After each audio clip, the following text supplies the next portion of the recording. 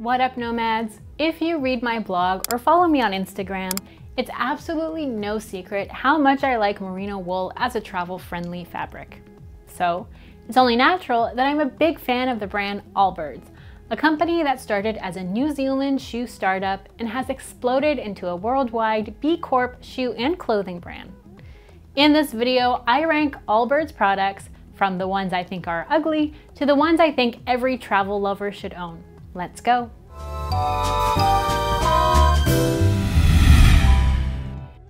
So I've grouped Allbirds shoes and clothing into some general categories to make this video a bit shorter. So I'm gonna cover 12 ranking spots. At number 12 are the Trino Puffer jackets, which Allbirds launched last year.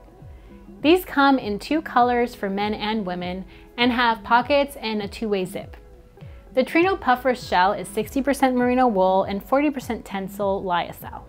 The coat retails for $250 US. Now as a Canadian, I'm super picky about coats, and although I love the look of this one, and there's no doubt that the choice of fabrics is eco-friendly and high quality, it just doesn't work for me at that price point. I need more wind blocking, I need a hood, zip pockets, and a few other features. So for a fall jacket, it's fine, but personally, I don't think this is a winner. Number 11 are the sweaters. Now the sweaters come in three models for men and three for women in a few different colors, and they range from 135 to 175 US dollars. I love a good wool sweater, but these aren't special, and for that price, I would expect a little more.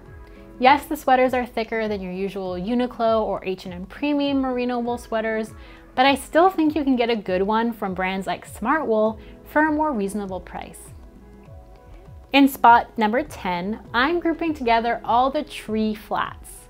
Allbirds tree fabric is eucalyptus, which is super innovative and cool. I just happen to think that these are ugly shoes.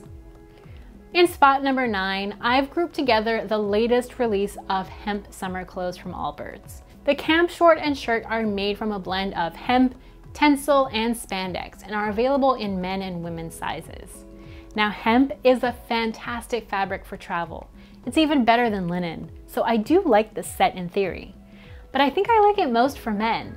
I wouldn't necessarily buy this kit for myself, but I think it would look really cool on a guy. In the same vein, the ladies rib tank and dress launched with the hemp line, and this gets my spot number eight. I like that it's a blend of merino wool, hemp, and trino, and I could see many women getting good use out of these travel essential styles. But style-wise, it's just okay, and that's why it's in spot number eight. Next up in spot number seven are all the tree sneakers, dashers, toppers, runners, and pipers.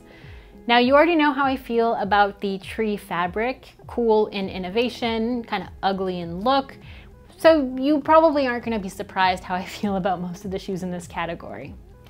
Now these are all pretty different products, all the shoes that I've grouped into this category, so you might not think that this is very fair. I have a pair of the Dashers and I like them for working out.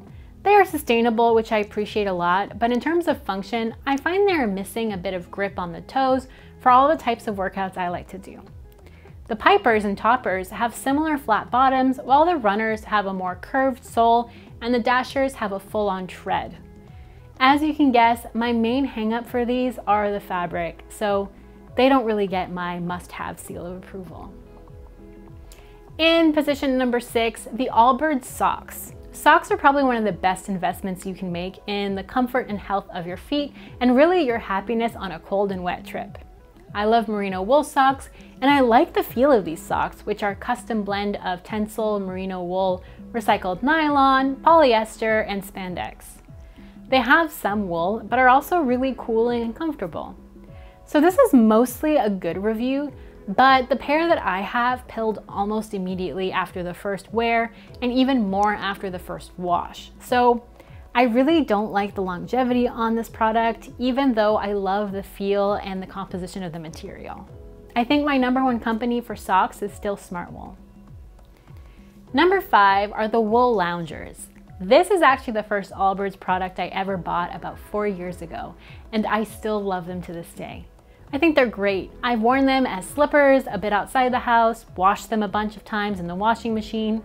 I know that 95 US dollars is a lot for slippers, but I've gotten my money's worth. I recommend these so much, and if I lost them, I would definitely replace them. In spot number four, the Allbirds short and long t-shirts. These are so comfortable, cut really nicely, and are so soft. The composition is mostly Tencel and merino wool, so not quite as much wool as some of the other merino wool tops that I have, but easy to wash without being afraid of it pilling or shrinking. I have one of these t-shirts and I've already gifted two and plan to buy more. So now we're at the top three. In spot number three, the classic wool shoe. This is the OG Allbirds product and totally deserves its top three spot. I have had mine for almost as long as the loungers and I've put them through so many travels from hiking the Bulgarian mountains to cottage trips, San Francisco, British Columbia, and so much more. I wear these without socks and I've washed them in the washing machine a ton of times and they always come out looking great. In second spot, the Allbirds underwear. I love their underwear. It's been a revelation to me and I can't stop buying it. Their underwear is made of 65% Tencel lyocell, 28% merino wool, and 7% spandex. They are soft, have the perfect amount of elastic, come in a few models that work well for my body and the clothes I like to wear, and their sizing chart was pretty accurate. The bra is pretty basic, so my feelings are lukewarm, but the underwear is A+. Plus. In first place, drum roll please, the Allbirds Mizzle line. The Mizzle's shoe line comes in four models and are basically the same as their wool line, but with next level fabric that is treated with weather repellent product. They are expensive since the weatherproofing adds like $30 to each pair. However, if I were to lose my original wool runners, I would get the Mizzles for my next version. You get all the comfort of the wool on the inside with the protection of the Mizzle fabric treatment and extra grip. So there you have it. This was my review of the Allbirds line. I hope this was helpful. Leave a comment below if you have questions or to share your favorite Allbirds products. See you in the next video. Happy travels.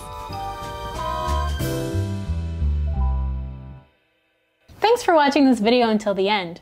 For more content like this, make sure you subscribe to the Capsule Suitcase and turn on notifications so you get all the fresh content as soon as it comes out.